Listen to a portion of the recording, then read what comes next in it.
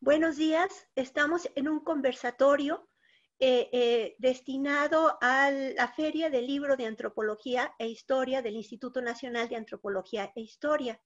Yo soy Marta Terán de la Dirección de Estudios Históricos y me acompañan José Antonio Serrano, que es presidente del Colegio de Michoacán ahora, y, y Juan Ortiz, que es investigador del Instituto de Investigaciones Históricas de la Universidad Veracruzana.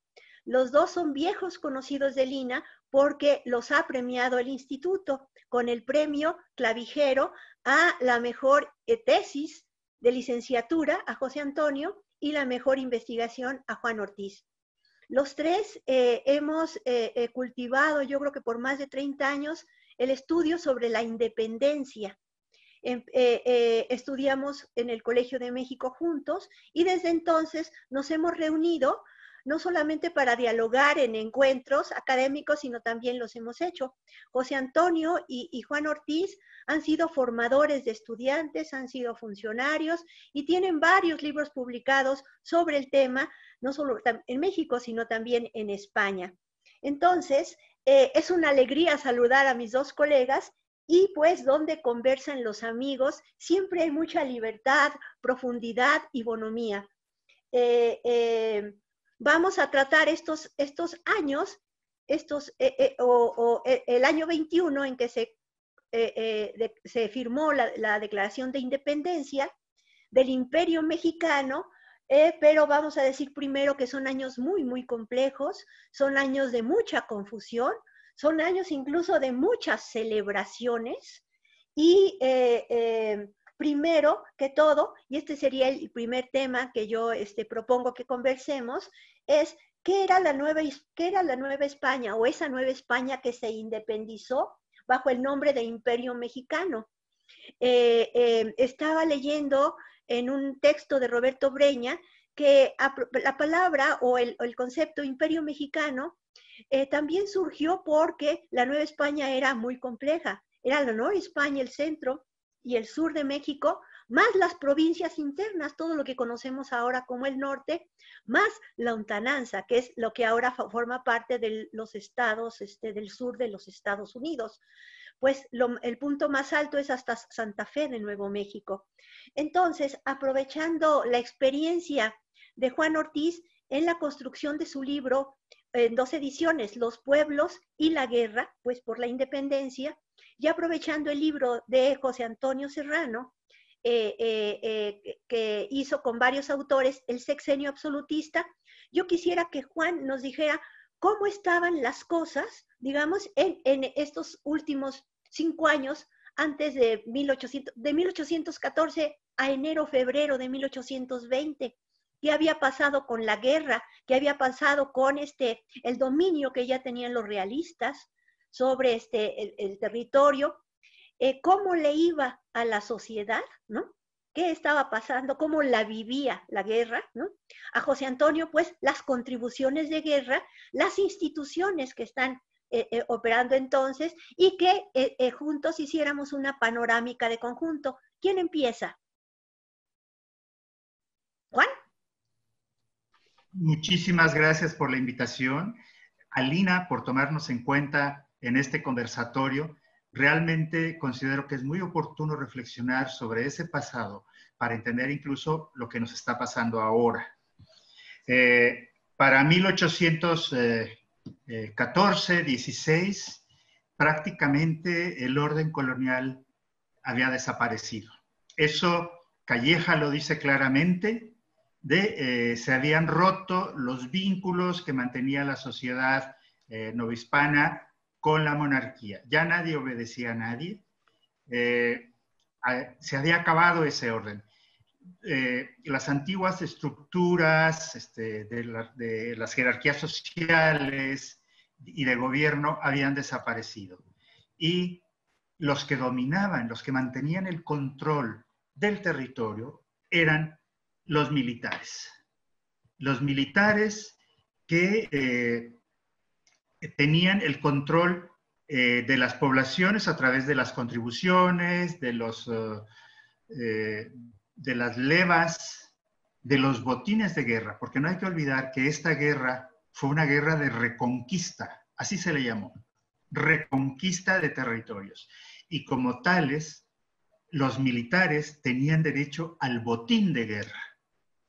Por lo tanto, hubo muchos casos, muchas eh, eh, denuncias en contra de los militares, sobre todo españoles, peninsulares, de los que habían llegado de la península, que eh, acusaban a gente propietaria o gente que no les caía bien, los acusaban de insurgentes y se quedaban con sus propiedades y demás. Realmente es una situación muy dramática porque no hay ley. Es la ley de las armas. Eh, y por lo tanto la gente, eh, pues sí, está organizada, se defienden como pueden, pero los militares eh, pues tienen la fuerza. Y como bien lo decía Cicerón, cuando las armas hablan, callan las leyes. O sea, no hay una normatividad, no hay nada. Hay algo que siempre se nos olvida en este proceso. Si bien llegaron tropas expedicionarias de la península, quien las financió, quien pagó la guerra, fueron los propios novohispanos, las poblaciones, la gente común y corriente. Ellos son los que eh, financiaron la guerra. No llegó dinero del, exterior, nunca llegó. Era, eh, por eso hablábamos de una guerra civil. Y en este sentido, lo que más lastimaba a la población eran los castigos ejemplares. Eh, y que ese es un tema que a mí, eh, desde hace tiempo, en las reuniones que he tenido con los insurgentólogos y sobre todo los partidarios de Iturbide, le digo, ¿por qué destituyeron a Iturbide del cargo de comandante general de Guanajuato y Valladolid? Por sinvergüenza, porque era, él fue de los que más daño hicieron a las poblaciones los castigos ejemplares, por no avisarle que pasaban los insurgentes a un lado, tomaba presos a, los hombres, a los varones, los concentraba en la plaza y al azar seleccionaba cinco y los fusilaba o los ahorcaba. Entonces, todas estas cosas son agravios muy fuertes para la población. Y en ese sentido, yo pregunto y lo sigo preguntando, ¿qué hizo Iturbide entre 1816 y 1820. Hay un vacío de información que nadie sabe contestar. Hasta ahora ningún historiador, insurgentólogo, lo ha podido contestar. Y si eso no lo sabemos, ¿cómo vamos a entender lo que va a pasar después? Eh, ya con la comandancia militar y el plan de Iguala. José Antonio. Bueno, pues eh, también agradezco al Instituto Nacional de Antropología e Historia con una vinculación que siempre hemos tenido y contigo, Marta, y con Juan, pues amigos desde hace años.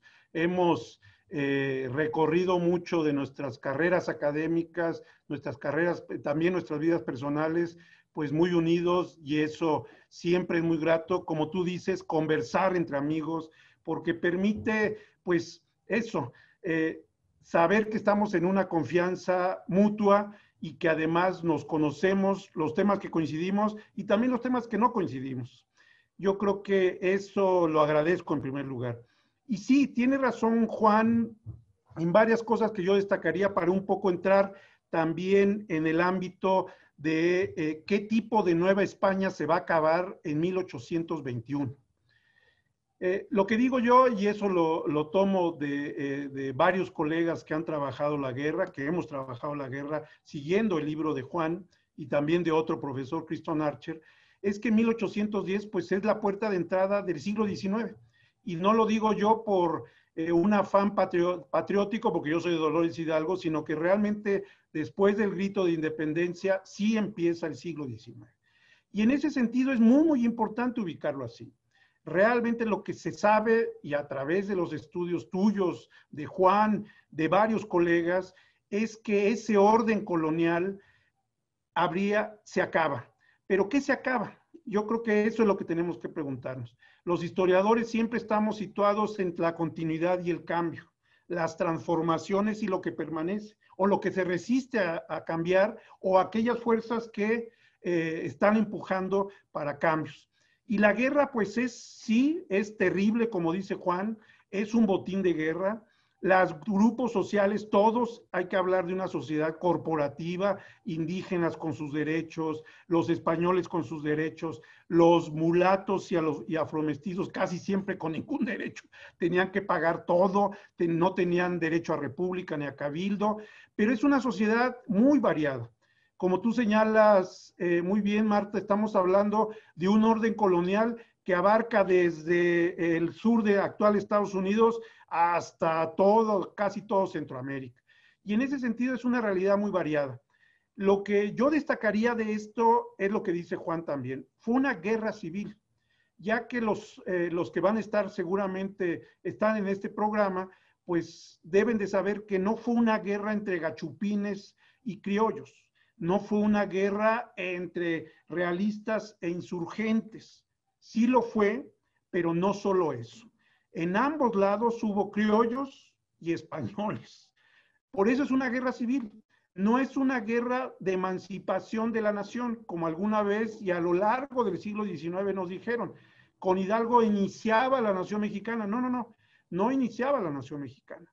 Realmente sí hay, como tú has recordado, el concepto de independencia, pero a veces es independencia con respecto a los franceses, porque hay que recordar que está invadida la península otros sí, como Hidalgo, y lo ha demostrado también Carlos Herrejón, hay independencia ahí sí absoluta, no están considerándose parte ya de España. Y hay otros, incluso insurgentes y realistas, que consideran que debe de continuar eh, la Nueva España con otra condición política, pero dentro de la monarquía hispana. Entonces, lo interesante de, de 1810 es que eso va a heredar tantos grupos políticos, sociales en movimiento, que yo creo que es lo que a mí me parece fascinante.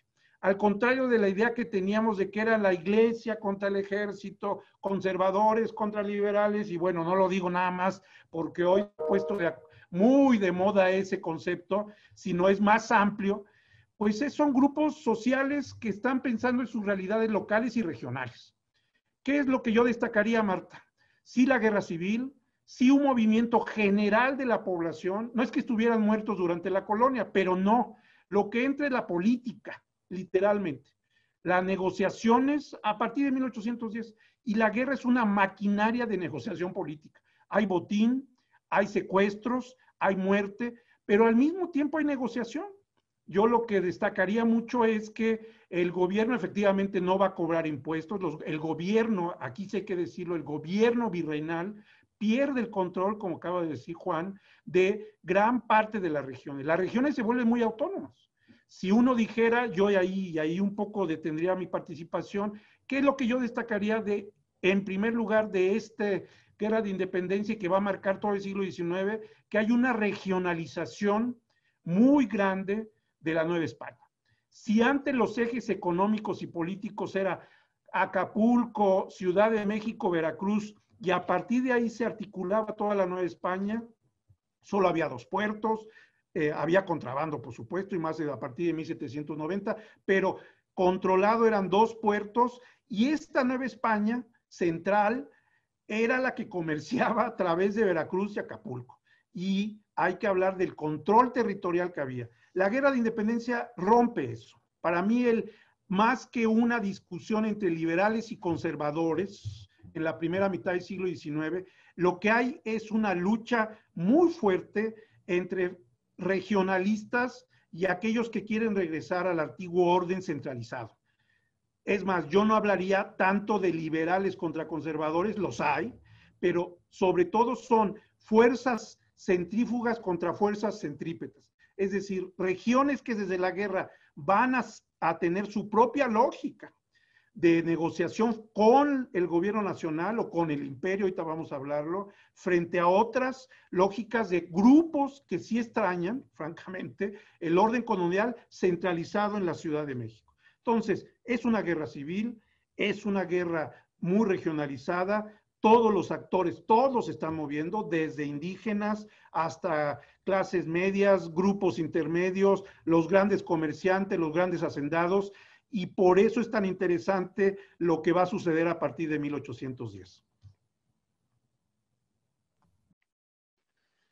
Bueno, con esta idea que tenemos ya de este eh, eh, Reino de México, Imperio Mexicano, Nueva España, en fin, eh, ahora vayámonos eh, eh, a, ver qué es lo que pasa o cuáles son esas experiencias políticas más importantes que se dan también con la guerra.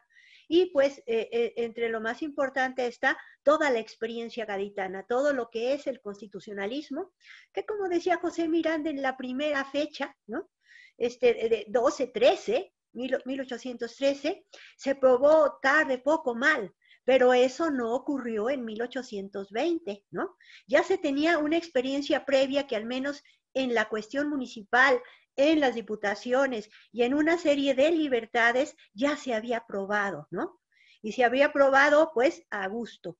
Entonces, eh, eh, eh, después de la restauración del rey, donde, como tú dices, José Antonio, este, ya nada es lo que fue antes, ¿no?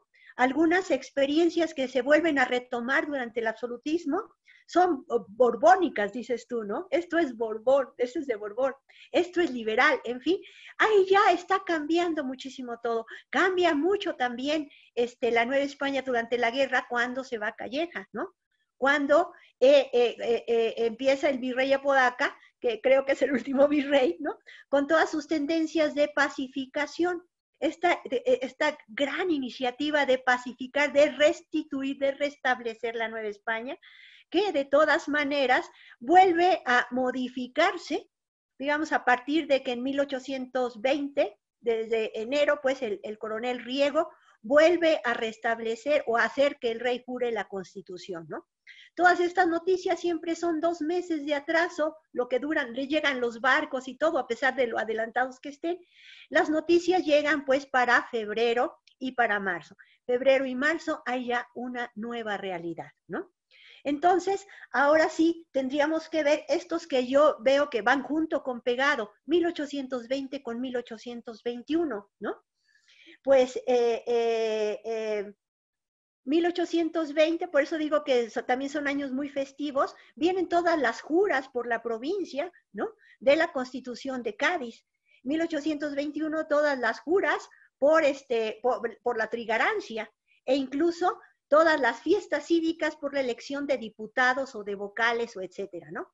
Entonces son dos años que la primera cosa que yo veo es de una intensa movilización política, de tomar partido, de hacer política, ¿no?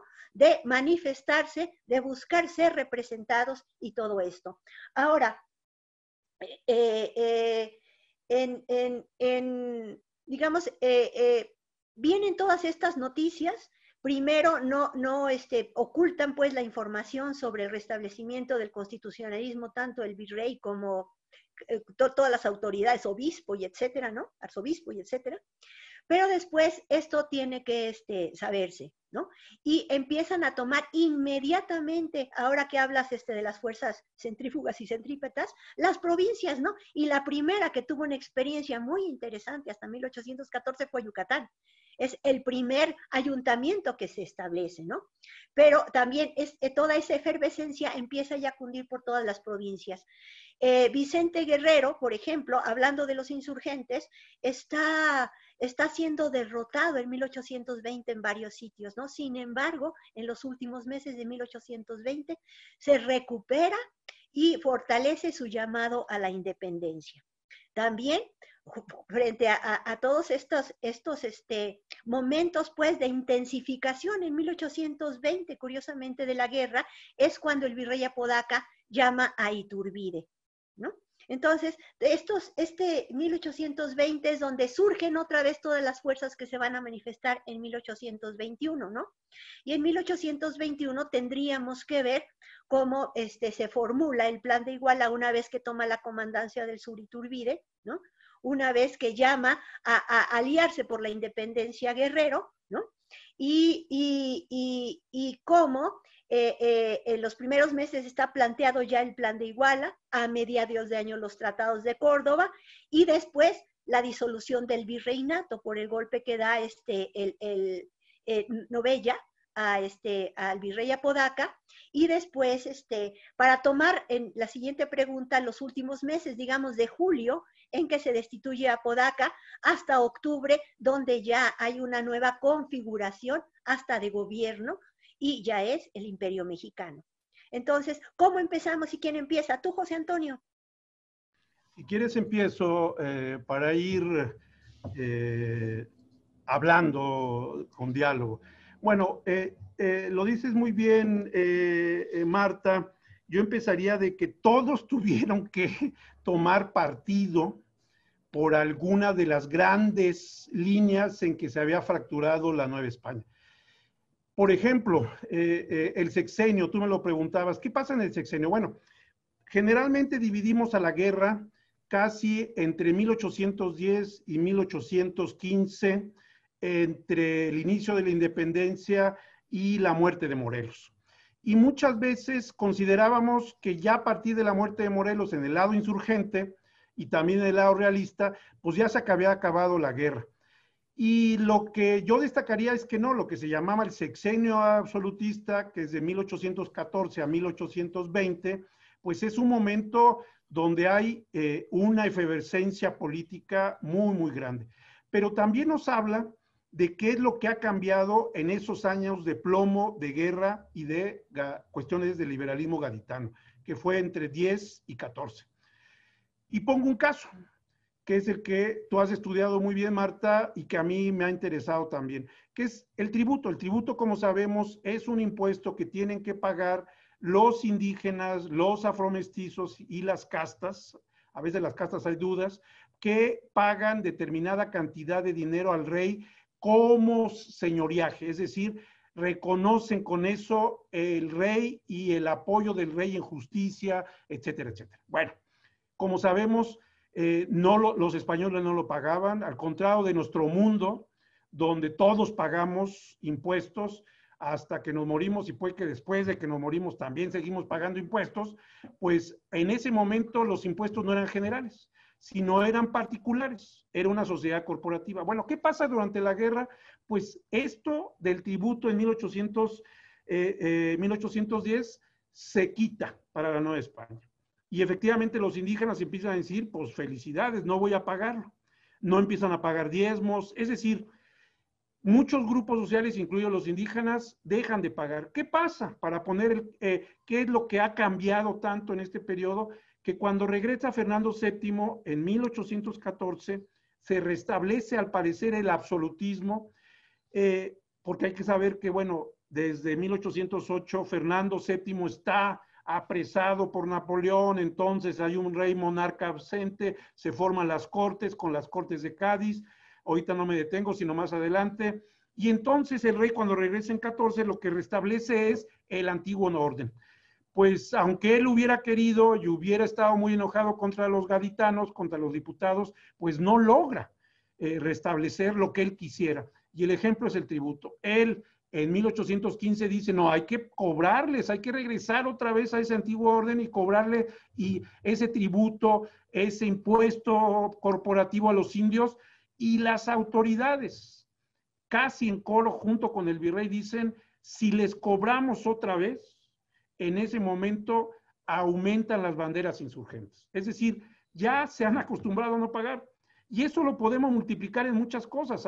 La Real Audiencia ya no está funcionando tan bien, hay una división. Entonces, ese ejemplo para mí del sexenio es lo que prepara lo que va a llegar a 1820. Sí hay medidas borbónicas, es decir, otra vez restablecimiento de ese antiguo orden, pero ya no pueden lidiar socialmente con estas órdenes que se dieron en Cádiz. Y ahí eh, dejaría, yo creo que es importante hablar de Cádiz en sentido de las cortes extraordinarias que se establecen en Cádiz y cuál fue su impacto entre 10 y 14 para entender por qué 1820 de nueva cuenta aunque con distintas maneras, se va a restablecer ese orden. Yo aquí le dejaría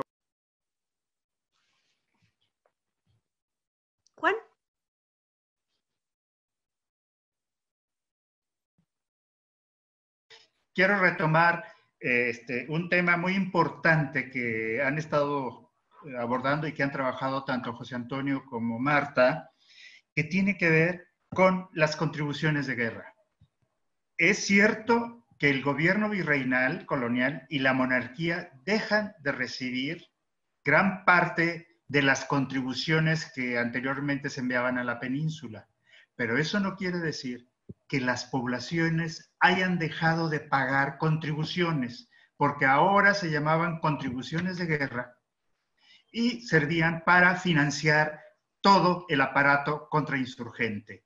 De ahí que, pero además no había, no había, no había una ordenanza, no había una disposición que regulara este tipo de contribuciones. Eran cada uno de los jefes realistas, de los jefes regionales, los que las imponían.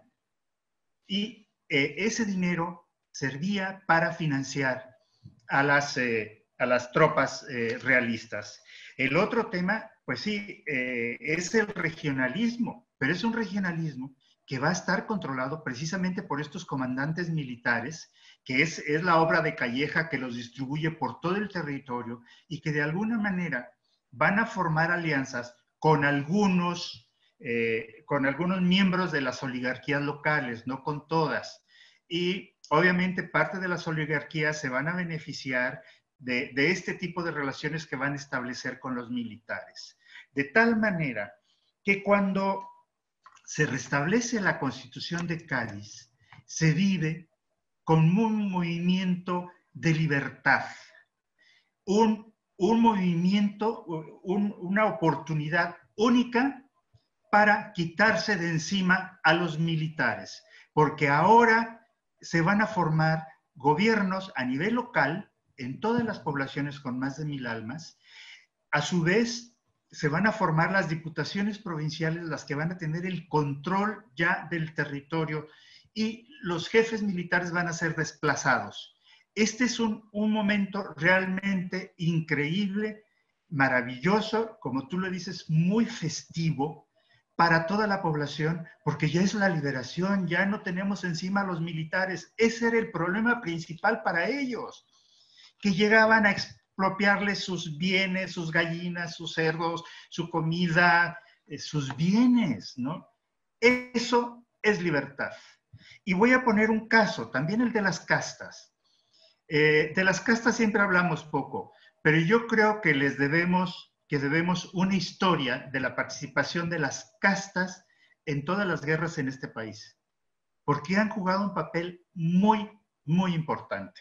¿Y qué es lo que pasa en Veracruz? Que eso es un tema que a mí me fascina, que lo he estudiado. Los negros, que no tenían derechos políticos, pues se los adjudican y forman ayuntamientos. ¿Qué más libertad quieren? Y les voy a poner un ejemplo que me encanta, me fascina, ocurre en Tlacotalpan, eh, en 1821. El, ayuntamiento envía a, a un regidor a una hacienda de nombre Saltabarranca para que eh, hiciera el padrón de electores y nombrara a los electores del lugar. ¿qué van a hacer? Era una población conformada por negros, eran negros de hacienda. ¿Qué es lo que hacen? En primer lugar, con la constitución en la mano, se constituyen en pueblo. Y una vez que se constituyen en pueblo, se, eh, obviamente adquieren la ciudadanía y forman su propio ayuntamiento es, una, un, es un caso, es un ejemplo que me parece maravilloso de cómo se fue interpretando esta constitución. Por otro lado, los comerciantes, eh, gran parte lo interpretaron libre comercio. Eh, eh, cada quien, lo interesante de ello es que cada quien lo está interpretando de diferente manera. Y bueno, en mi libro de Guerra y Gobierno, en la última edición, está toda la relación de todos los ayuntamientos que se formaron durante este periodo y realmente la multiplicación es impresionante. Lo mismo va a pasar con las diputaciones provinciales. Cada grupo social, cada región se adjudica derechos y ese es el temor y ese es el antecedente de lo que está pasando y que va a dar origen a la creación del, a la proclamación del plan de Iguala.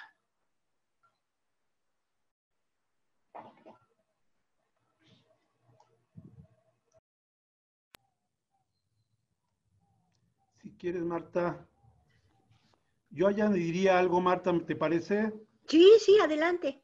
Yo, yo, Juan ha planteado ahora muy bien esta cadena que yo llamo de la Constitución de Cádiz.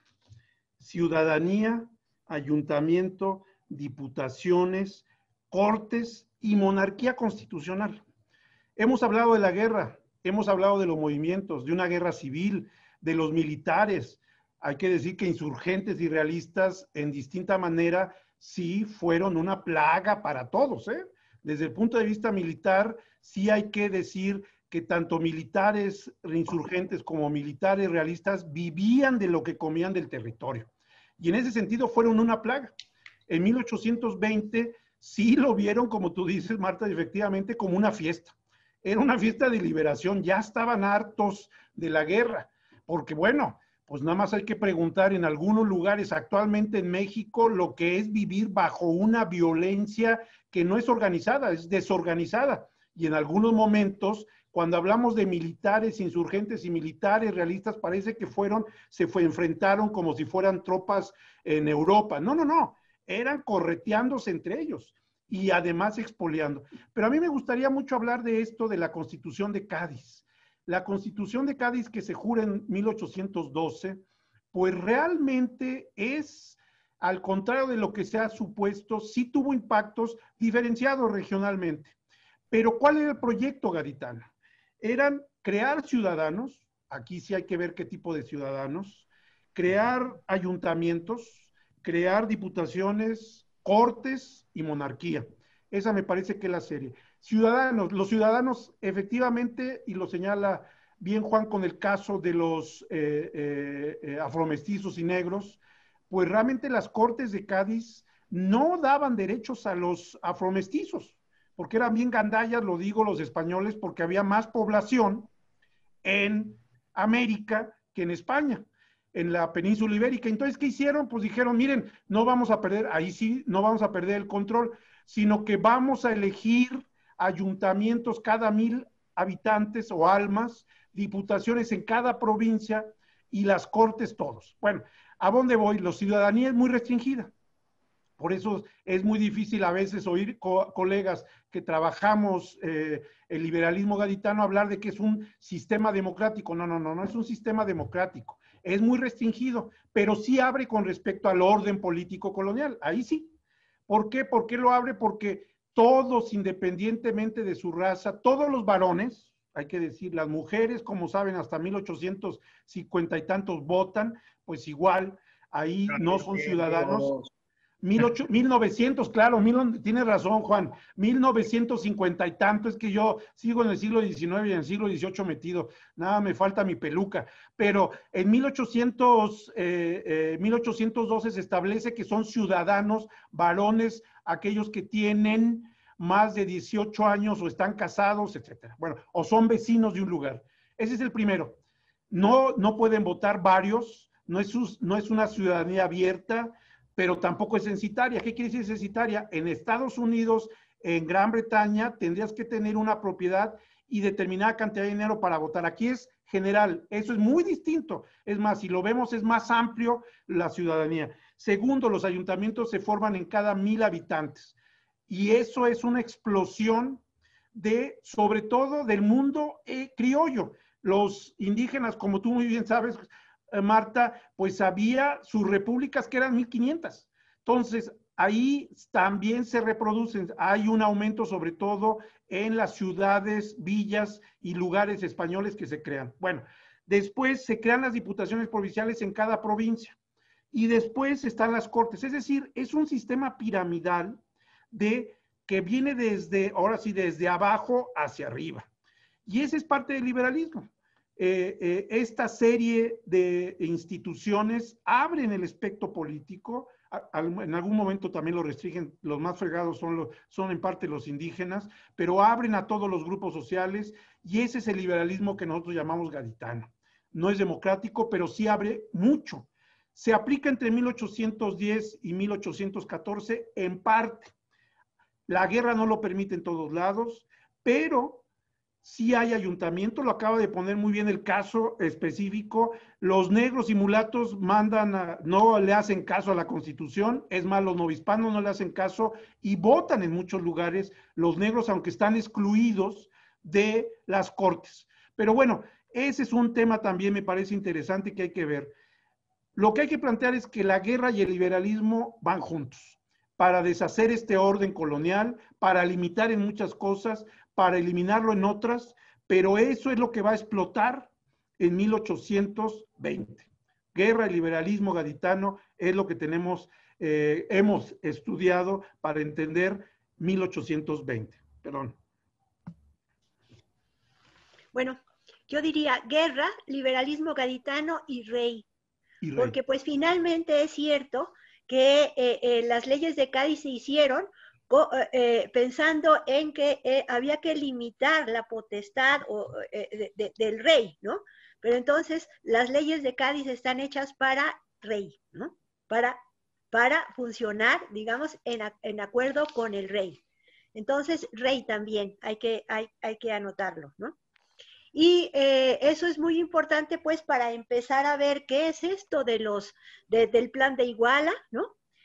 qué matices son los que toma con los tratados de Córdoba, ¿no? Porque finalmente es un planteamiento de independencia, pero vinculado pues a, España.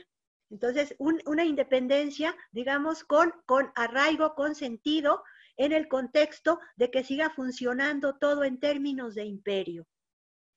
Por un lado. Y por otro lado, pues el planteamiento de que se independiza este, estos vastos territorios, pero eh, eh, eh, esperan pues por un príncipe europeo, de preferencia de Borbón, ¿no?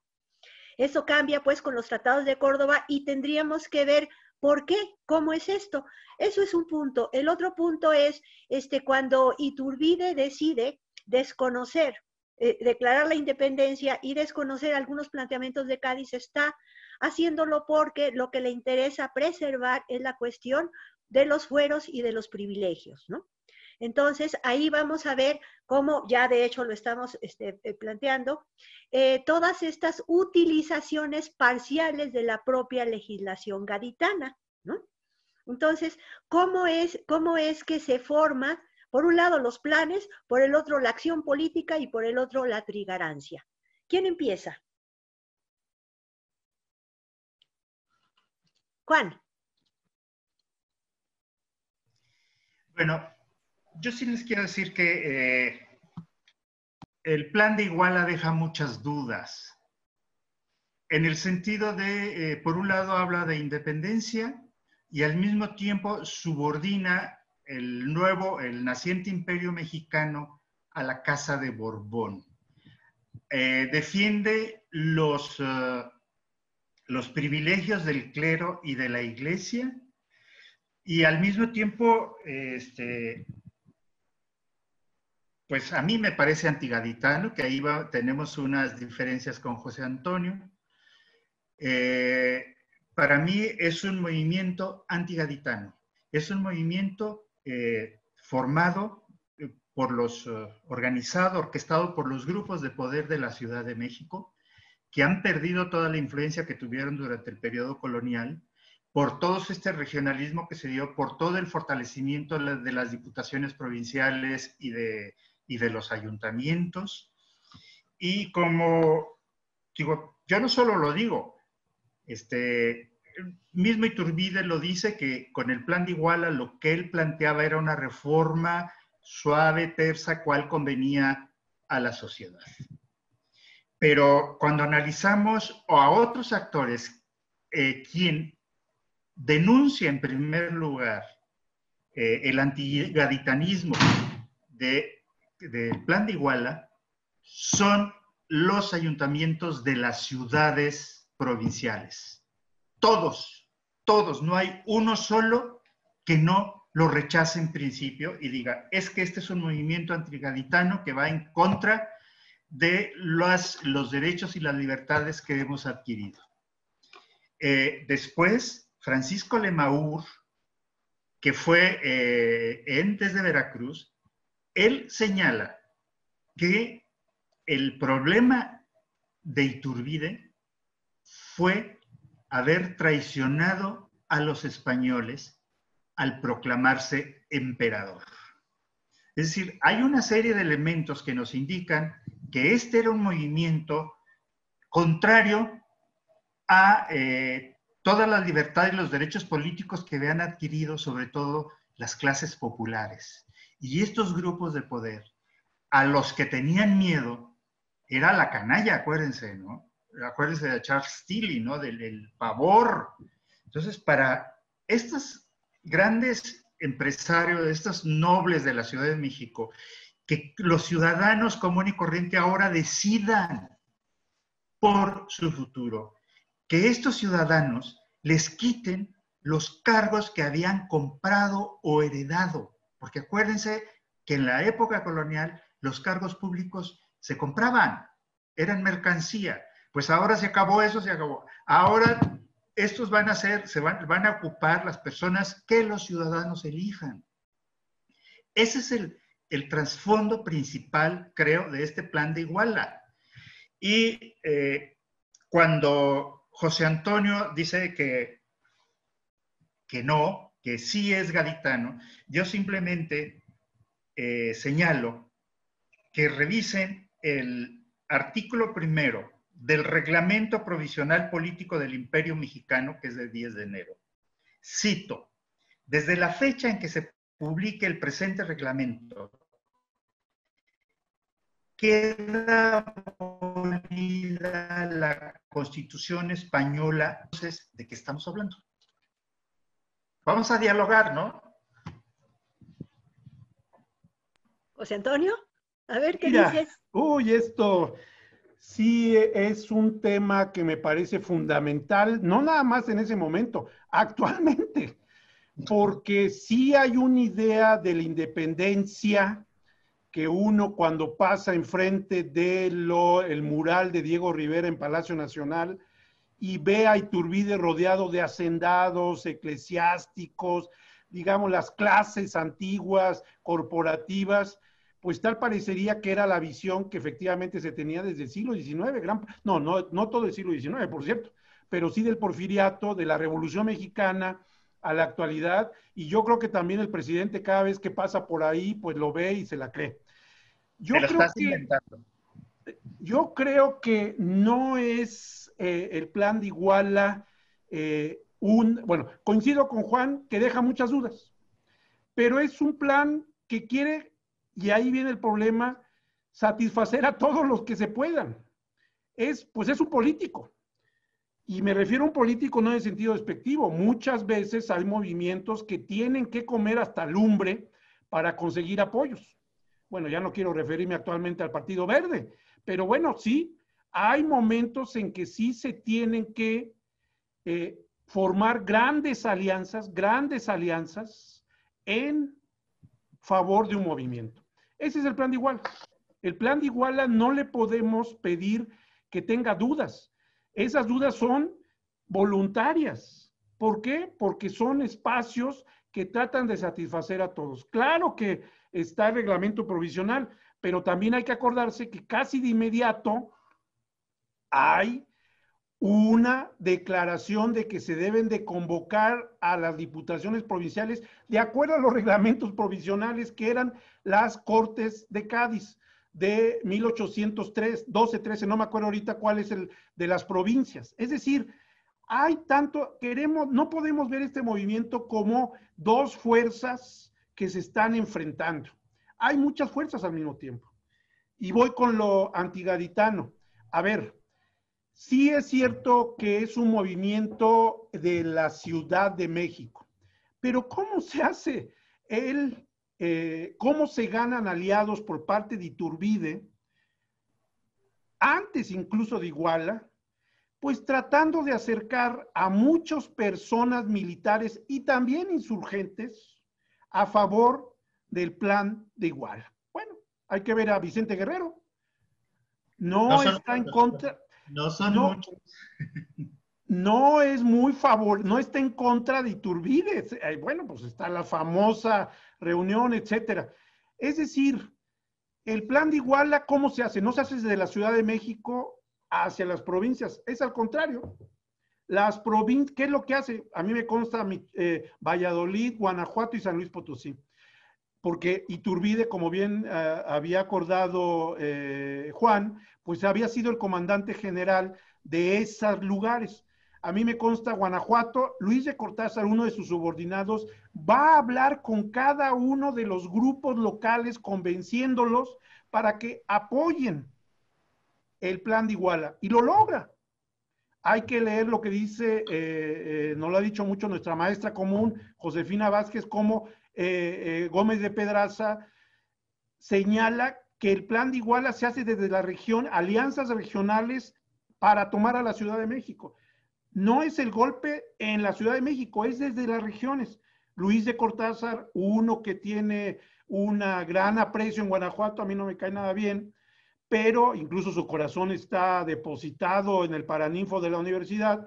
Bueno, ese militar lo que hace, que forma parte de estos grupos regionales, pues empieza a hablar con el ayuntamiento, que claro que el ayuntamiento en primera instancia no se va a declarar inmediatamente.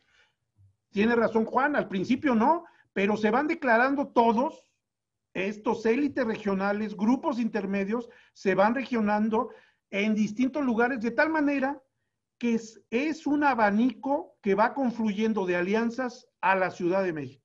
Ahora, ¿por qué no es antigaditano? A ver, ¿por qué? Pues más hay que empezar. Es una monarquía constitucional. Tiene razón, Marta, es el rey. Si se retoma en un momento en que está la Santa Alianza a favor de una monarquía absoluta, el plan de Iguala y eh, la Suprema y, el reglamento provisional, todos van a retomar una monarquía constitucional. Eso es lo que se está debatiendo en ese momento. Entre monarquía absoluta, monarquía constitucional. Todo América, eh, bueno, la Nueva España, va a ser una monarquía constitucional. Se respetan las diputaciones provinciales. Es más, Iturbide cuando llega a Puebla trata de satisfacer una de las viejas demandas que viene desde 1811 de Puebla de tener una diputación provincial, se la establece en agosto.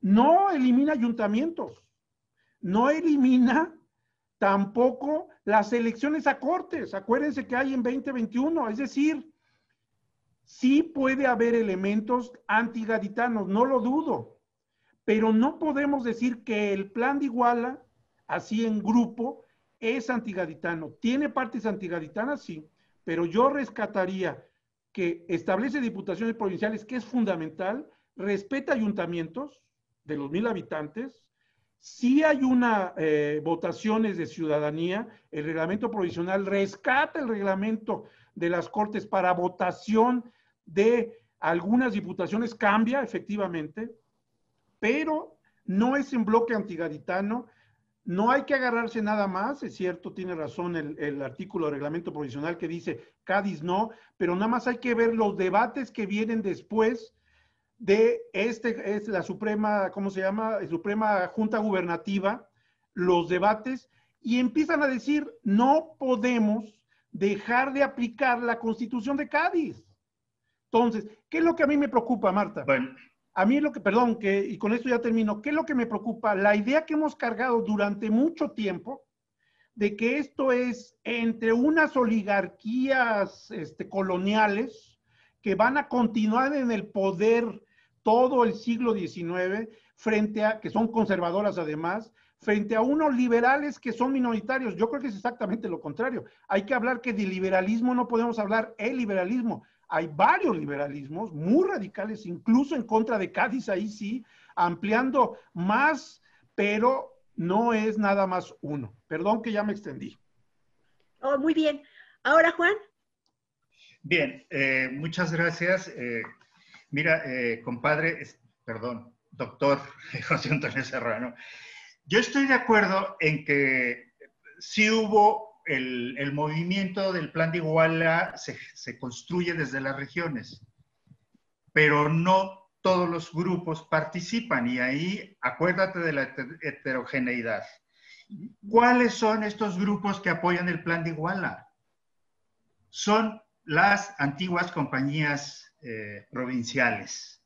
Es decir, hay una diferencia entre las milicias, entre el ejército y los grupos de poder ciudadanos, los, los gobiernos eh, locales, las diputaciones y los ayuntamientos. Son dos cosas distintas. Y si tú analizas, por ejemplo, el que más me encanta es precisamente el de San Luis Potosí. El ayuntamiento dice, vamos, juramos el plan de Iguala bajo protesta, de lo contrario van a destruir nuestra ciudad y la van a saquear. Eso pasa en otros lados. Entonces, sí tenemos que diferenciarlos. Ahora, ¿qué pasa lo de Puebla? Pues es una falacia, porque las Cortes ya habían autorizado la creación de diputaciones provinciales en todas las antiguas intendencias. Entonces, ya existía eso. Ahora, mi pregunta es, yo siempre estudio, yo estudio pueblos, estudio gobiernos locales y demás. Imagínense lo del plan de Iguala, otra de las dudas que para mí es la principal. ¿Cómo estos señores militares, expedicionarios y provinciales que habían estado eh, eh, masacrando pueblos, extrayendo contribuciones y demás, de repente se convierten en los salvadores de la patria. vienen a salvarlos, a proclamar la independencia y demás. Y los 10 años anteriores de la guerra y todo lo que sufrieron estos pueblos, los van a reconocer. Eso a mí me parece inverosímil porque eso eh, eh, tiene memoria. Obviamente en este momento, en esta coyuntura de la jura del plan de Iguala, no se va a percibir. Pero ¿dónde sí lo vamos a ver? Cuando, en las elecciones también este, para los miembros del Congreso Constituyente. Allí es donde se van a expresar las facciones entre los absolutistas, los iturbidistas y los republicanos. Y ahí es la importancia de Veracruz, pero no solo de Veracruz, sino de todos los movimientos que se dieron. Ahora, este, lo de este proyecto conservador que tú dices que no le llamemos conservador, pues llamémosle como quieran. La Junta Provisional Gubernativa, ¿cómo se forma? ¿Quién la constituye? Entonces ahí viene otro tema. Este movimiento de independencia no lo están proclamando los revolucionarios. Dime qué ex insurgente está en la Junta Provisional Gubernativa. No hay nadie, ninguno. Por lo tanto, este movimiento, este plan de Iguala y estas alianzas que se van a dar, la conforman principalmente los oficiales del antiguo ejército realista. Entonces, por favor, yo creo que ahí sí tenemos que repensar esta, una explicación mucho más amplia y no quedarnos en el dato, porque yo creo que eso es lo que no nos ha permitido tener una, una mirada más a largo plazo. Y no entendemos por qué fracasó Iturbide. Porque Iturbide era poderoso y era fuerte en la Ciudad de México. Tenía el apoyo de, de las milicias provinciales pero no de los grupos de poder a nivel local. Y eso lo vamos a ver en el constituyente. Eso lo vamos a ver en el constituyente. Gracias. A ver.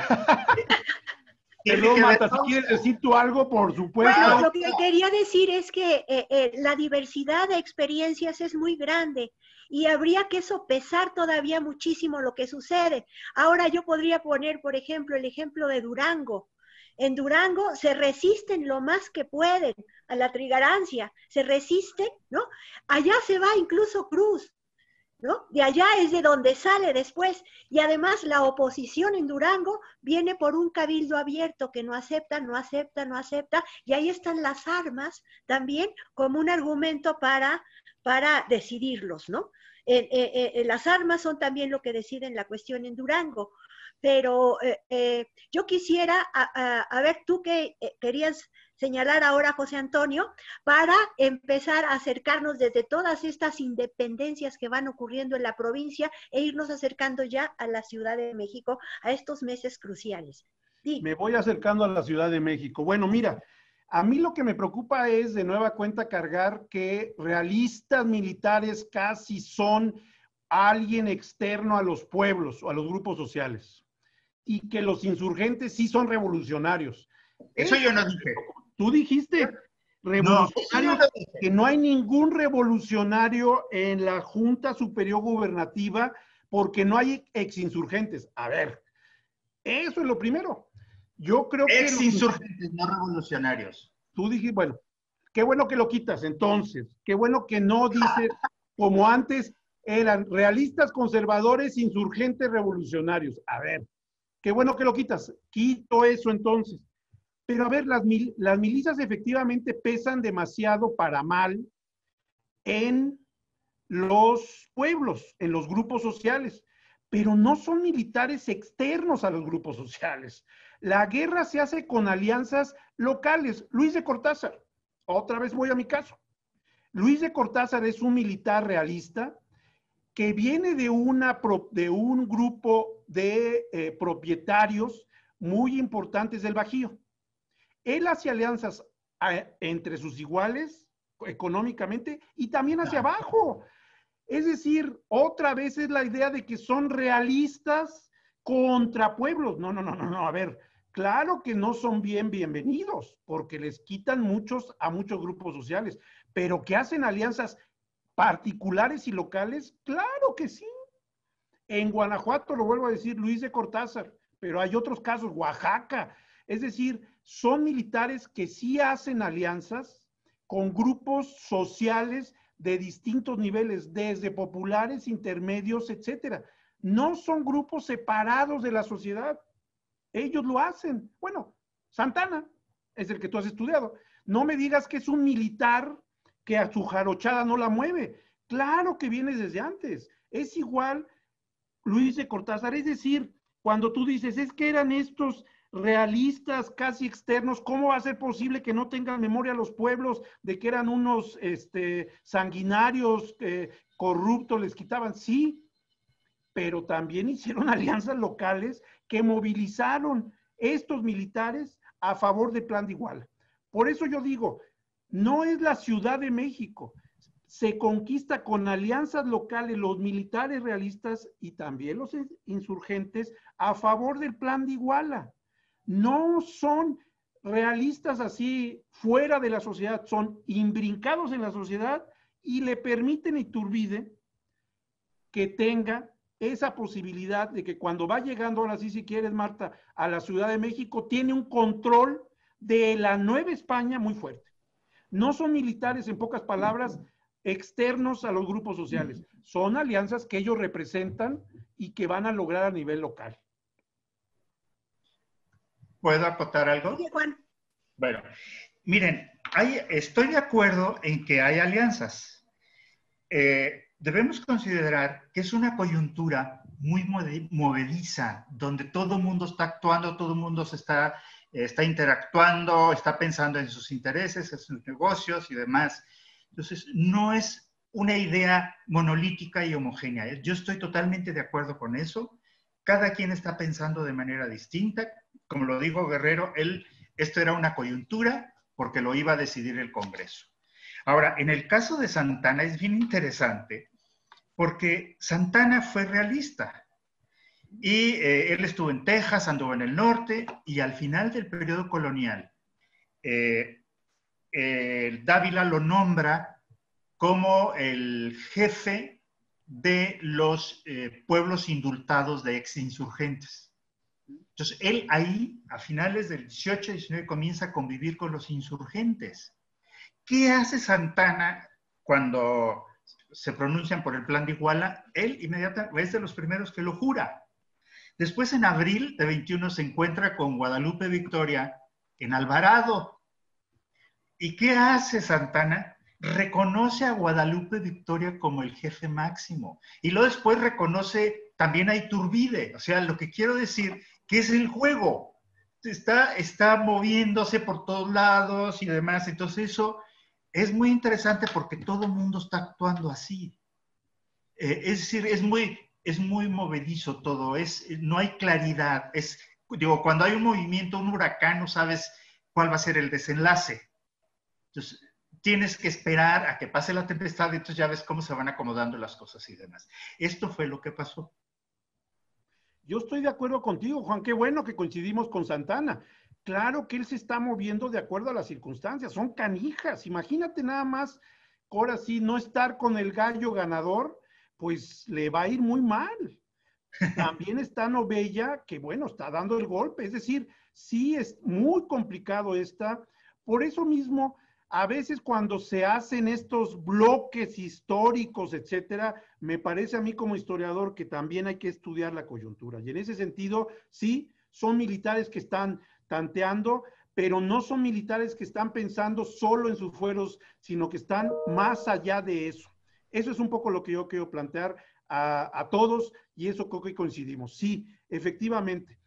Y en ese sentido, hablar de un plan de iguala monolítico, pues también es hablar de un plan que tiene que entrar. Si coincidimos en eso, qué bueno. No es un plan antigaditano. Partes de ellas es importante, pero no es en sí mismo un plan antigaditano. Yo creo que ahí lo vuelvo a decir, no es que, claro que en Puebla cuando llega Santán, cuando llega Iturbide, les dice, no, no, establece, tiene razón, no establece la diputación provincial, reconoce la diputación provincial porque no se había establecido. Él se da cuenta y se monta en eso también porque está convencido, no hay, eh, Juan, de nueva cuenta, aún en el reglamento provisional, no hay desaparición, y ese es mi punto, no hay desaparición ni de la monarquía constitucional, ni la diputación provincial, ni de ayuntamientos. Claro que hay un cuestionamiento muy fuerte, y eso sí tiene razón, en la manera en que se va a elegir por estamentos el constituyente. Claro que sí, tiene, en ese sentido tiene la razón. Pero ese va a ser uno de los temas centrales, temas centrales de la derrota y el derrocamiento de Iturbide. Entonces, hablemos de un plan de, eh, el plan de Iguala que trata de satisfacer a todos. Y eso ya lo sabíamos desde hace mucho tiempo. Trata de satisfacer a todos.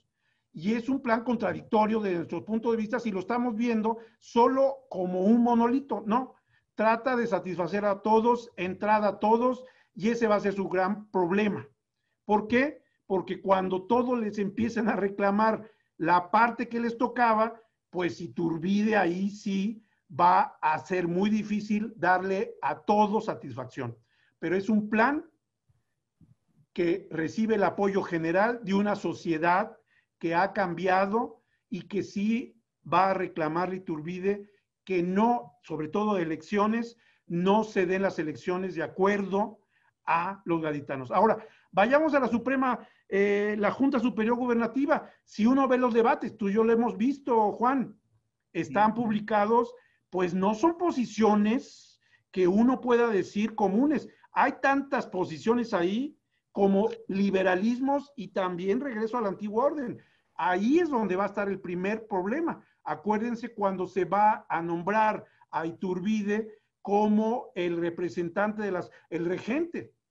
Entonces, bueno, es más, ¿cuál es la gran contradicción? El plan de Iguala dice, trata de que venga un Borbón. Ya de entrada, esa es una gran contradicción porque Fernando VII no va a querer. Entonces, si ven, no nada más quiere dar satisfacción a los borbones, a los borbonistas que les llamamos en ese momento, sino a exinsurgentes, a gaditanos, etcétera. Es un, desde nuestro punto de vista, es uno, es un, puede ser un galimatías, porque también he oído varios colegas que dicen casi que nada más el plan de Iguala tiene una lectura. No, tiene varios.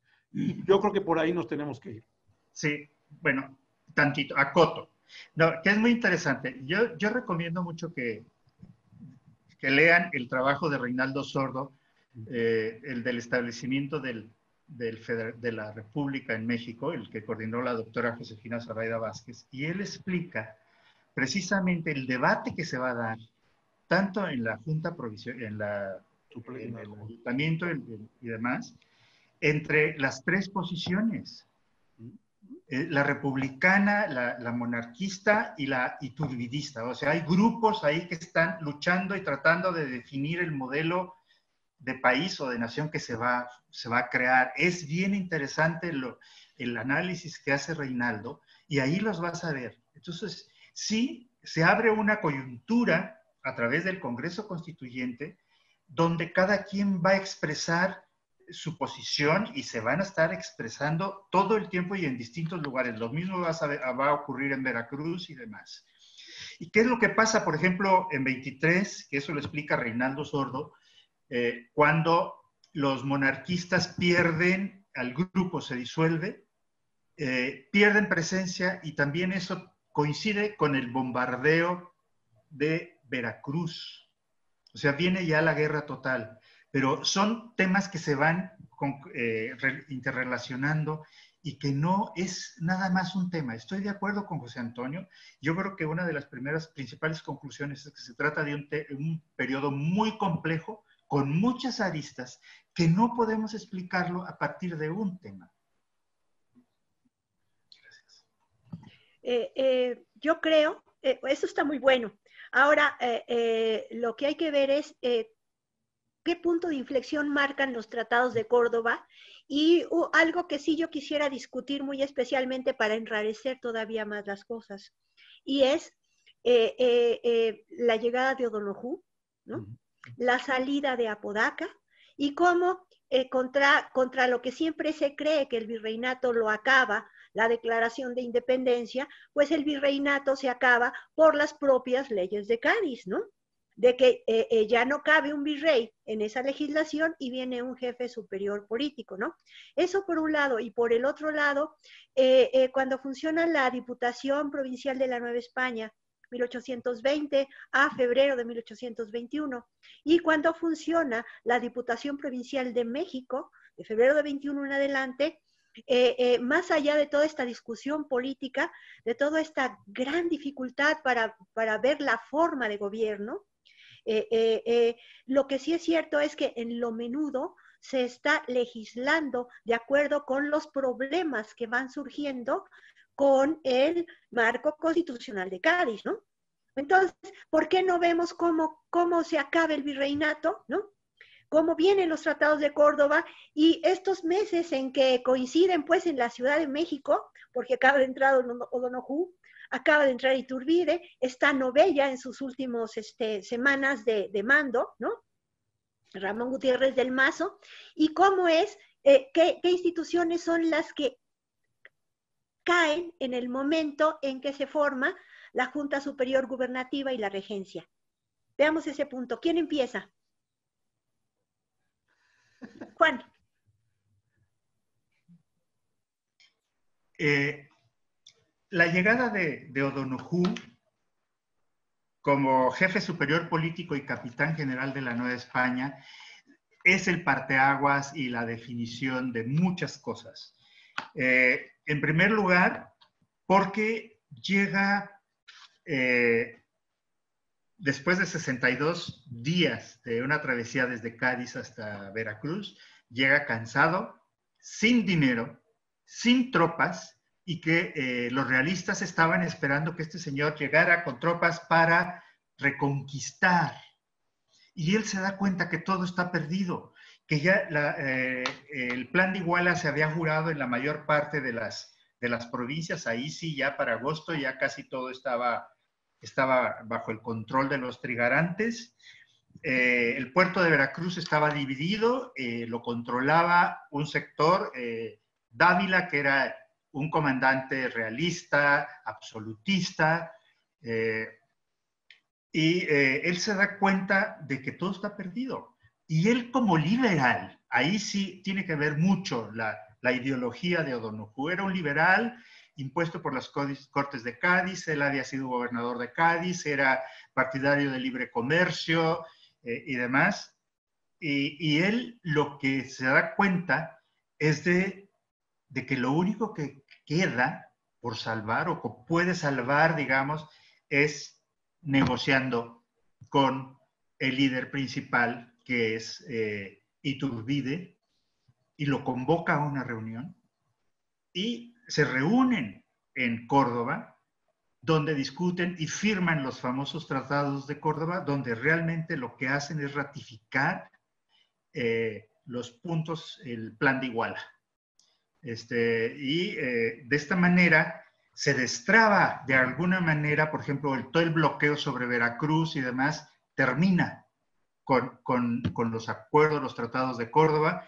Por otro lado, eh, Dávila está furioso y eh, declaran, desconocen la autoridad de, de y lo declaran este, traidor a la monarquía, lo declaran, este, le quitan la ciudadanía de español porque entregó todas las comandancias militares a Iturbide. A partir de ahí, la mayor parte de las tropas expedicionarias distribuidas en todo el territorio nacional deponen las armas, vienen los armisticios y salen del país. Entonces, lo que vamos a ver es un cisma realmente muy fuerte entre las tropas expedicionarias, porque muchos son partidarios de, liberalismo, son, son gaditanos, pro-gaditanos, y otros tantos pues, son absolutistas. Y eso de alguna manera es una coyuntura que Iturbide va a aprovechar muy bien. Por otro lado, el ultraconservador Novella le va a dar el golpe de Estado a Apodaca en la Ciudad de México, destituye al virrey, es un grupo de, de militares ultraconservadores, peor todavía, pero ellos ya no tienen ninguna fuerza. Es decir, nada más controlan la ciudad por unos días, Después llega eh, Iturbide con, con O'Donoghue, recibe el mando y se acaba el asunto. Al poco tiempo muere O'Donoghue en circunstancias, pues quién sabe, pero bueno, dicen que murió de muerte natural. Algunos dudan, no lo sé, pero bueno, eso no tiene nada que ver. Pero a partir de ahí, entonces sí van a empezar a definirse ya las posiciones del tema de la independencia. Es decir, antes era, estaba todo mezclado. Pero es precisamente a partir de O'Donoghue, de los tratados en agosto, eh, donde empieza ya a separarse. ¿Qué es lo que va a hacer Dávila en el puerto de Veracruz? Ya la mayor parte de las, eh, de las comandancias militares, del, este, ya las guarniciones ya te pusieron las armas, ya controlan los nacionalistas. Y en Veracruz, el 26 de, octubre del 21, Dávila abandona la ciudad de Veracruz y se refugia en San Juan de Ulúa. A partir de ahí comienza el último episodio de la guerra por la independencia, ahora sí de México, entre mexicanos y españoles. Los que están en Veracruz, mexicanos, y los españoles en San Juan de Ulúa. Pero la historia ahí no termina, porque todavía hay muchos temas para definir y demás. ¿Qué es lo primero que hace Dávila? negociar con los grupos de poder del puerto de Veracruz por el tema de la aduana. Entonces, ¿quién controla la aduana? Entonces se ponen de acuerdo eh, y se van a crear dos aduanas. Una en San Juan de Ulúa para los barcos españoles y por eso los españoles pueden sobrevivir más tiempo en San Juan de Ulúa porque ellos tienen los recursos de los impuestos eh, del comercio. En cambio, los extranjeros, los norteamericanos, los franceses, los ingleses, eh, tienen, su tienen la aduana en la isla de sacrificios. Al final, todas las mercancías ingresan a Veracruz y siguen su camino hacia tierra adentro. Esto es muy interesante porque mientras no haya una clara definición de qué es lo que va a pasar, eh, y esto tiene que ver también con los debates que se están dando en la Ciudad de México, en el Congreso y demás, porque todavía no se sabe qué pasa, qué va a pasar, ¿no? La situación cambia en 23 cuando se restablece el absolutismo en España y cae el imperio de Iturbide en México. Entonces sí, ahí sí ya viene la guerra total, la destrucción de, de Veracruz, y bueno, esa es una historia que después seguimos, podemos continuar. Antonio. Mira, Marta, a mí me gustaría mucho que opinaras también tú, porque eres especialista, pero Eh, sí, tiene razón Juan. Ahí toca el tema realmente que define la independencia del Tratado de Córdoba. Es al, mismo tiempo un punto, ya que tú hablas de inflexiones, Marta, y tienes toda la razón, un punto de llegada y un punto de inflexión. Punto de llegada donde efectivamente lo hemos podido constatar ahora en esta conversación, pues hay un movimiento general de muchos grupos que ven de, distintas maneras y de acuerdo a sus intereses el plan de Iguala. Pero los tratados de Córdoba y la llegada de Onojú tiene que obliga a los grupos a posicionarse. Ahí sí tiene toda la razón Juan. Tratados de Córdoba es donde tenemos que empezar a ver cómo estos grupos se tienen que definir. Porque, y ahí es donde viene el tema, pues acordémonos que las cortes desconocen a Donojú, porque lo primero que hace Donojú es firmar el Tratado de Córdoba. Y ahí sí le cambia la movida a todos. Lo, ¿Cuál era, de nueva cuenta, la monarquía constitucional de la Nueva España dentro del imperio o de la monarquía hispana? Primero, eh, hay que acordarse que la, eh, la monarquía constitucional, perdón que yo lo insista tanto, no es conservadora absolutista. Al contrario, hay que pensar en Inglaterra. A veces eh, relacionamos republicanismo y monarquismo como si fueran cosas distintas. En ese momento, claro que estamos hablando de distintos sistemas de gobierno, pero ambos tienen división de poderes, cortes, elecciones, etc. Es decir, una monarquía constitucional y una monarquía liberal. Nada más hay que pensar en Inglaterra. Punto. Entonces, pero sí es cierto el gran tema, el gran tema que va a dividir a todos es la independencia. En el momento en que llega O'Donoghue y reconoce el Tratado de Córdoba que quería la independencia, ahí cambia todo. Los borbonistas empiezan a dudarlo, es decir, aquellos que consideraban que todavía había posibilidades de que la Nueva España formara parte de la monarquía, donde se pedía que viniera un rey, un eh, hijo o pariente de eh, Fernando VII, se estaba pensando en Carlos, que viniera a ser una monarquía. Como Brasil, acuérdense, ya teníamos un ejemplo. Ya estaba acá la corte lusitana en Brasil. Entonces, ¿qué es lo que, a dónde voy yo? Si se empiezan a definir los grupos, son los choques, monarquistas, borbónicos y turbidistas, aquellos que consideran que Iturbide es el que debe de encabezar el gobierno, que se oponen, aquellos que consideran y yo creo que también hay que destacar que dentro de los peninsulares también hay grupos diferenciados. Yo siempre pongo el caso que me gusta mucho de Lucas Alamán. Lucas Alamán, en su historia publicada ya en la década de los 40, él de repente dice que él fue un liberal radical, se le olvida porque ya para los 40 es un conservador, pero fuerte pero en 1821 él mismo se le sale la frase que es un liberal radical. Un poco para, para dar también a nuestro auditorio cómo van cambiando. Alamán no nace conservador, se hace. Es un liberal radical, va moderándose, etc. Y a mí lo que me gusta mucho también es lo que introduce Juan, Tratados de Córdoba, y también el papel de este absolutista Dávila desde Veracruz. Hay una amenaza. No hay que olvidar eso. Nunca hay que olvidarlo hasta 1836 en que España reconoce a la independencia. Durante todo ese periodo, bueno, hubo amenazas, una se concretó en 29, pero ¿a dónde voy? Lo que va a hacer y va a cargar el Tratado de Córdoba es que va a obligar a todos los grupos a definirse. Y ahí ya no es que el plan de Iguala diga, no, no, no, ahora sí vamos a definirnos, vamos a, ya no es, ya logramos lo que queríamos, lo que nos unificaba, como bien dice Ocampo, este libro muy, muy importante de cómo están a favor de Cádiz, cómo que está en la prensa, hay opinión de prensa libre, pero ahí ya, en el Tratado de Córdoba, ahora sí me tiene que decir usted si está a favor de una monarquía constitucional encabezada por Fernando VII o una monarquía constitucional encabezada por el regente que es Iturbide. Ya eso es un cambio muy fuerte. Y están los republicanos, efectivamente. Hay insurgentes en ambos lados, como lo sabemos.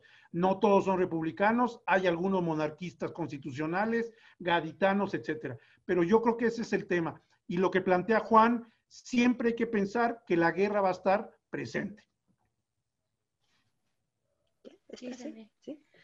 Eh, muy interesante. Muy interesante. A mí, a mí la figura de, de O'Donoghue me parece fundamental e incluso su ingreso en la Ciudad de México pidiendo acá que se, que se apoye en la Ciudad de México los tratados de Córdoba y esas escasas dos semanas en que se reunió un par de veces, tres veces, no solamente con Novella, eh, tuvieron eh, eh, muy malas, muy malas reuniones, o, o, Iturbide con O'Donoghue, en fin, o los tres, ¿no? en que iban unos acompañados siempre del cabildo de la Ciudad de México, de las figuras religiosas, etcétera, etcétera, ¿no? Para poder puntuar por allí este, lo que tenía que seguir. Eso, esto de, de me parece central para haberse reconciliado en, favor de la independencia a todas las fuerzas, ¿no? Ahora, la cuestión es que eh, la declaración de independencia, eh, allí sí están representadas eh, digamos, este, intereses muy concretos, los aristócratas, etcétera, etcétera, ¿no? Todos los que piden, pues, este, religión y fueros. Eh, eh, lo que es muy interesante y había que introducir ahora para poder llegar hasta la constitución de 24, ¿no? Para poder llegar a, a, Guadalupe Victoria como primer presidente y todo esto, es en qué momento empiezan a sobresalir, digamos, los planteamientos, ¿no? en qué momento se empiezan a acoger los planteamientos republicanos. Uh -huh. eh, en qué momento los republicanos como tales y los insurgentes que tienen puntos de vista republicanos, para poder encontrar el otro momento en que este, eh, eh, cae Turbide, pues, ¿no? ¿Quién empieza? Bueno, tú empiezale, Juan, si quieres. bueno, con mucho gusto. Eh, yo empiezo, yo encuentro, miren, es muy interesante toda la, el, los estudios que se han hecho sobre el republicanismo en México, casi siempre se construyen desde la teoría eh, y, y desde el parlamentarismo y demás. Pero a mí lo que me llamó la atención en los estudios que yo he estado haciendo sobre Veracruz es de que desde 1816 Guadalupe Victoria ya está hablando como de república como forma de gobierno para México. De hecho, tiene su batallón de la república, el republicano en jefe, es decir, hay una serie de elementos que habla de, de, ese, de, la república, él ya está hablando, pero al mismo tiempo, por los mismos años, también Vicente Guerrero. Entonces, si es lo que estamos viendo, no sé, es que ese es, es, como un vacío, falta estudiarlo más. El problema es la información, que no la tenemos, porque estos eran guerrilleros, no eran escritores, este, ellos estaban eh, en el campo de batalla generalmente y demás. Pero sí es muy interesante cómo eh, los dos, hay dos grupos, los más importantes de la insurgencia, los que sobreviven, están hablando desde 16 de república como forma de gobierno. Eh, después, cuando se jura la constitución, por ejemplo, la constitución de Cádiz en 20, recuerden que Guadalupe Victoria nunca se indultó. Él a partir del 18 desaparece de la, de la escena, todos sus uh, antiguos soldados se indultan, forman los pueblos, que son los que supervisa Santana, pero él se queda, dicen, en las barrancas de Acasónica en una cueva. Eso es mito. En realidad vivía en la casona, en una hacienda de, de, de Arrillaga, de Francisco de Arrillaga, en Paso de Ovejas. Él ahí estuvo, cuando llegaban los realistas, pues se internaba en el monte y entonces iba a las cuevas. Pero es muy interesante cómo él, en 1820, cuando se restablece la constitución, él resurge y otra vez comienza a convocar a los pueblos a la rebelión en contra de la constitución de Cádiz. Y de manera paralela a este movimiento que se está generando en Veracruz, surge el plan de Iguala. Y es el que Santana, bien hábil, este, le jura lealtad a, a, Guadalupe Victoria y luego también le jura lealtad a, a Iturbide, ¿no? Entonces, pero sí empieza a generarse todo este movimiento. Cuando uno analiza la composición que eso, eso son los propios eh, jefes militares, los comandantes militares enviados por Iturbide que controlan los territorios, los que están informando a Iturbide cómo este, las tendencias en cuanto a la elección de los diputados. Y están hablando, por ejemplo, dice, de Puebla hay dos principalmente, los absolutistas y los iturbidistas. Los republicanos son poquitos, pero en cambio en Zacatecas, San Luis Potosí, Guanajuato, Veracruz y el sur, ahí todos son, están ya por la República. Es decir, desde, desde que surge el plan de Iguala, ya de manera paralela está surgiendo el otro. Pero ese como que todo toda la historiografía se ha centrado en Iturbide y el plan de Iguala y demás, pero de alguna manera ha opacado otras expresiones también políticas que son las que finalmente se van a consolidar. Entonces, eso a mí me parece, insisto, es un vacío todavía historiográfico, no tenemos suficiente información, pero sí podemos apuntar eh, la existencia ya de estos casos. Y lo otro, lo que explicó Reinaldo Sordo, son los debates que se van a dar entre las tres fuerzas principales. Sí, eh, yo iría, está muy bien lo de, lo de Juan, yo iría al otro lado. ¿Qué pasa con Iturbide como regente y después cuando es proclamado por un golpe de Estado emperador? Eh, efectivamente, quien se cargó, quien eh, minó el apoyo que tenía la monarquía constitucional, porque tenía un amplio apoyo, ahorita lo voy a explicar, lo voy a, tratar de, de ver, fue el propio Iturbide desde la convocatoria en contra de Cádiz, ahí estoy de acuerdo con Juan, cuando se establece que es por estamentos, que ese es el gran, gran tema de la representación, cuando es dentro de los liberalismos que hay en ese momento el tema, cómo se accede al poder a través de las elecciones.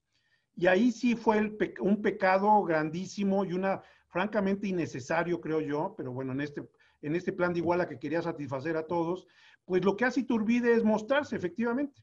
Quiere una elección estamental, se logra, pero en un lugar donde eh, ya las elecciones eran por población y no por estamentos, pues ya eso mina de por sí el propio Congreso Constituyente. Ese es el primer lugar.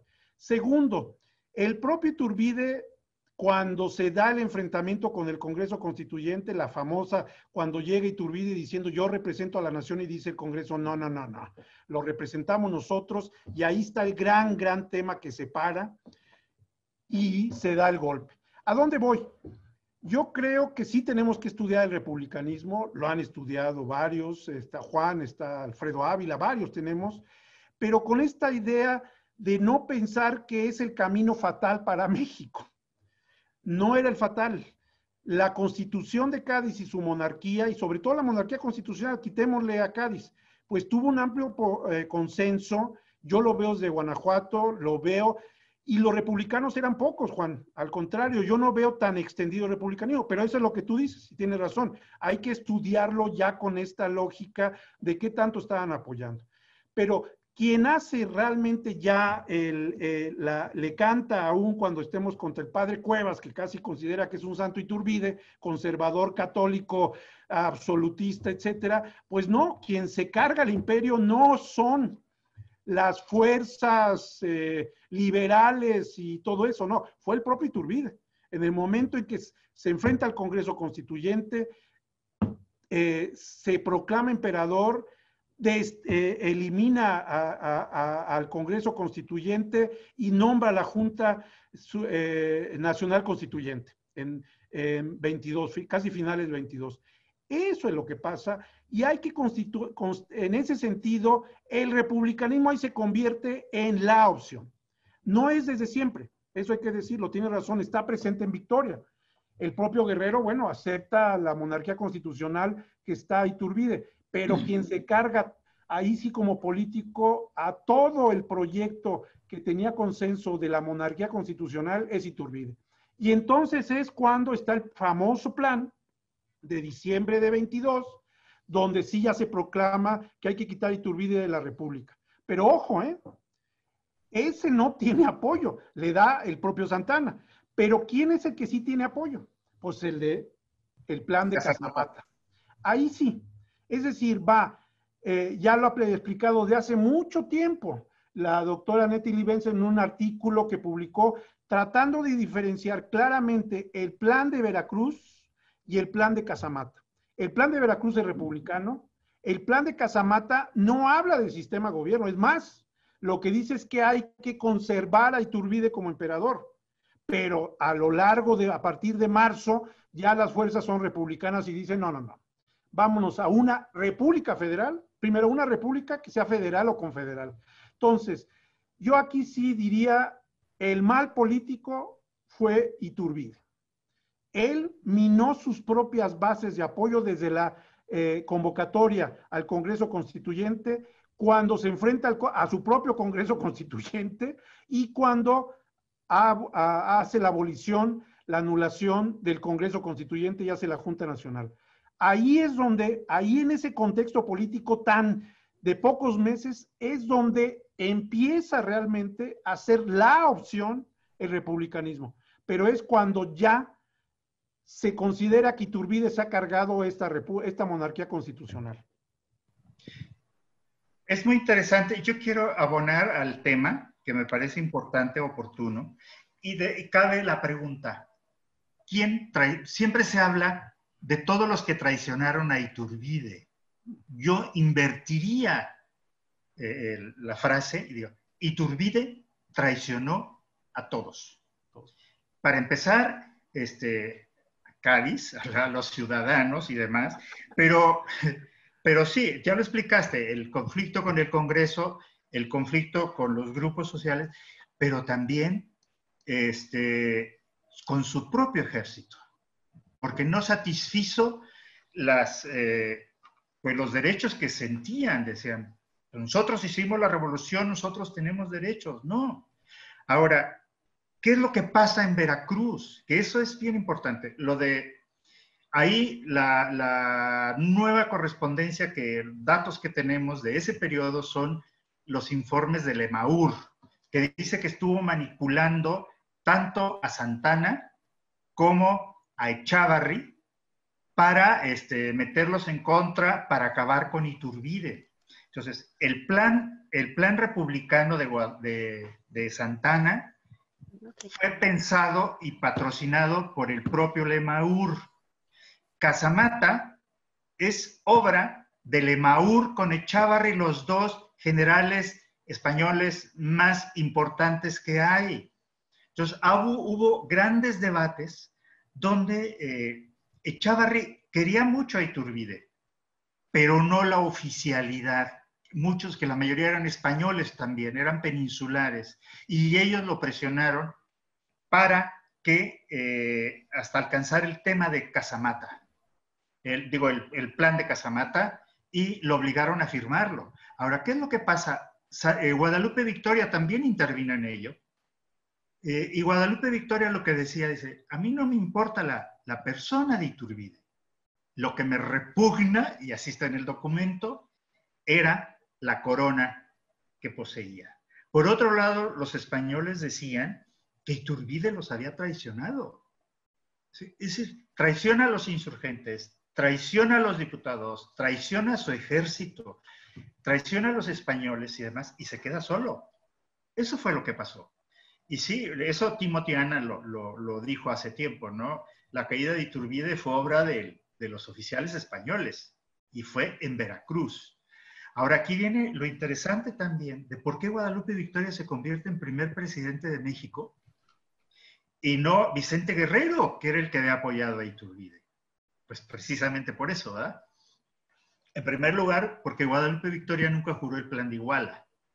Segundo lugar, porque contaba con todo el apoyo de los comerciantes eh, del puerto de Veracruz, con los que tenía, tenía relación, había convivido con ellos y demás. Y de alguna manera este, aparecía como el hombre más puro, ilustrado también. Había estado en el colegio de San Ildefonso. Y este, tenía eh, tenía más, eh, más carisma todavía que Vicente Guerrero, que siempre, porque además acuérdense cómo le llamaban, el negro guerrero, ¿no? Así con un desprecio, el rústico guerrero, el, todas estas cosas, todo eso influyó también, ¿no? Pero eso explica la relación, del, el hecho de que Guadalupe Victoria haya ocupado la presidencia por todo este tipo de relaciones que él tenía desde hace tiempo. Hay algo bien bonito el diccionario de la independencia, y es ahora que estaba recorriendo más o menos los meses para ir acordándome de cómo iban eh, sucediendo las cosas. Eh, acá Virginia, y eh, Gedea, Alfredo, que hacen este, esta cronología, marcan como ah, lo importante en el encuentro de, de Iturbide con Guadalupe Victoria, que Guadalupe Victoria en ese momento le propone que, ¿por qué no mejor sea emperador un insurgente que no esté indultado, ¿no? Eso es muy bonito porque pues finalmente termina este, eh, Guadalupe Victoria siendo el que preside la primera República Federal. Ah, eh, eh, nos quedan cinco minutos, ya nada más.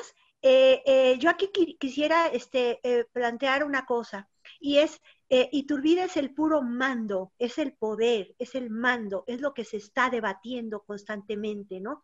Aquí y allá defendiéndose, buscando, en fin, ¿no? defendiéndose después en el momento final.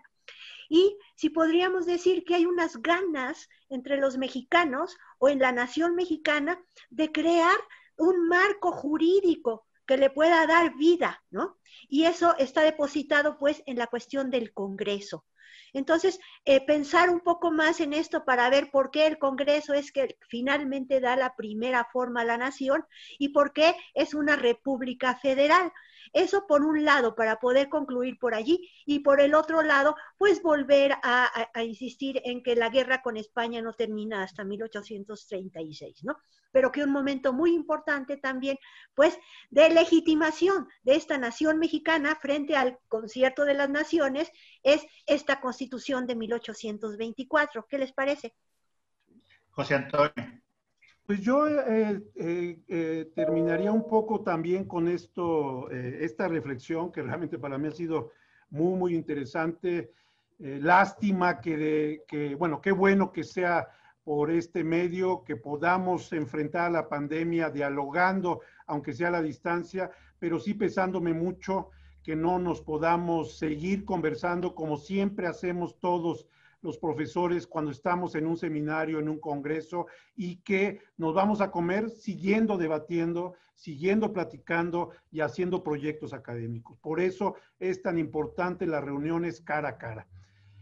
Y yo lo que terminaría es diciendo, pues sí, primero, la política cruza rapidísimo desde 20 hasta 24. Es impresionante realmente hay tantos grupos moviéndose al mismo tiempo con intereses coyunturales o con intereses a largo plazo que hacen que las negociaciones se vuelvan muy complicadas.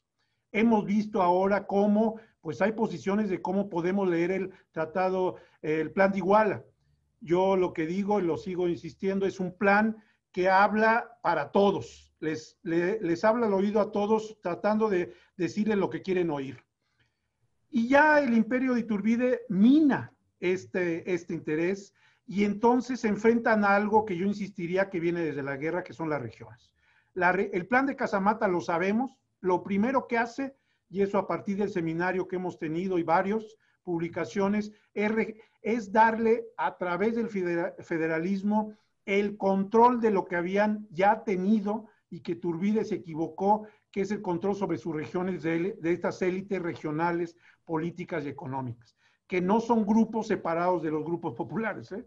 no están en contra de ellos, hacen alianzas, y eso es el federalismo. El federalismo es una regionalización. Ya el debate que se va a dar ya no es independencia, se ha olvidado, ya no es si es absolutismo contra liberalismo, tampoco, eso es muy importante decirlo, Novella, si Turbide mina la monarquía constitucional, Novella rompe con cualquier idea de eh, restauración. Es más, la Inquisición, como ustedes sabemos, como todos sabemos, no se restablece, que es uno de los órganos principales de control de la opinión pública. Hay congresos, ayuntamientos, diputaciones provinciales. Es decir, Estamos en un país federalista y sí liberal. Claro que hay fuerzas liberales centralistas y liberales federalistas, no son contrarios. Centralismo y federalismo son liberales nada más que su forma de organización. Eso también viene con Casamata. Y mm. viene por un país regionalizado con élites de intereses diferenciados. Ese es el país que va a heredar. Si yo he dicho que 1810 abre el siglo XIX, quien plantea cómo va a ser el siglo XIX va a ser desde 1821 hasta 1824, 24 de la Constitución. Va a ser un enfrentamiento de proyectos constantes, regiones, liberalismos y sí, ya cuando centralismos y federalismos y un conservadurismo que sabemos en los 40, aunque va a estar latente, hay que hablar de eso. No es que no estén los proyectos, sino que hay que hablar cuál consenso tienen.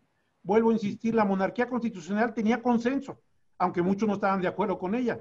Cuando se mina la constitución, la monarquía constitucional, surge el republicanismo como gran. Entonces, yo insistiría, los historiadores políticos a eso nos dedicamos, a instituciones y al impacto de las negociaciones entre estos grupos políticos. Bueno, yo quiero retomar dos puntos y me quitaste siete minutos, ¿eh? Bueno, eh, no Nos quedan cinco minutos. Que la, la, Primera República eh, gobierna estados, no gobierna ciudadanos. Ese es algo bien importante que debemos tener presente. Ahora, lo que, sí, lo que sí queda es Cádiz. Cádiz llegó para quedarse y en cada uno de los estados la base para la organización política a nivel estatal, provincial y local es la Constitución de Cádiz con ciertas modificaciones. Uno de los derechos que otorga la Constitución es que cada estado defina los derechos políticos, la ciudadanía, número de ayuntamientos, tipo de contribuciones y demás. Ese es este primer federalismo. Por lo tanto, Cádiz está presente hasta la actualidad, está hasta eh, hoy en día eh, tenemos la herencia gaditana. Otra cosa que quiero, quiero, quiero concluir es Iturbide en el discurso político. ¿Qué, ¿Qué queda de Iturbide? Vamos a ver que Iturbide va a estar presente. Y la, figura de Iturbide termina con Maximiliano en 1867. No hay que olvidar que eh, eh, Maximiliano recupera a, Iturbide, recupera al nieto y lo, lo, declara heredero y demás. Pero en el discurso lo que vamos a ver es que durante todos los gobiernos centralistas, desde Bustamante en 29, en 30, si uno ve los discursos cívicos que celebran en septiembre, si el 16 de septiembre o el 27, los centralistas siempre van a conmemorar el 27 de septiembre. Y los liberales o los, los contrarios, por decirlo de otra manera, el 16 de septiembre. Y sí va a estar presente, está, está presente en el discurso durante todo este tiempo. Y sí, yo pensaría que el proyecto monárquico que comienza con el plan de Iguala termina con Maximiliano y triunfa la República. He dicho. Pues muy bien, oh, me agradó mucho que conversáramos los tres. Eh, eh, tendríamos que reunirnos, particularmente si sigue un poco más la pandemia, o hasta que haya vacunas, tendríamos que reunirnos otra vez a debatir e invitando a otros amigos para poder hablar de, economía, de finanzas, de, en fin, ¿no? De la situación internacional y sobre todo de cómo todo este tiempo que hemos conversado, todos estos años que hemos conversado, en los 11 años de la guerra, marcan pues este siglo XIX, ¿no? Hasta Juárez, yo no sé pero sí es muy importante eh, eh, que sigamos pues con estas, con estas pláticas y ampliemos nuestros temas. ¿Les parece? Me de acuerdo. Excelente. Gracias, Marta. Y los extraño muchísimo. Pues gracias a ustedes. Muchas gracias. Nos vemos. Gracias. Chao. Hasta luego. Chao. Instituto Nacional de Antropología e Historia. Secretaría de Cultura. Gobierno de México.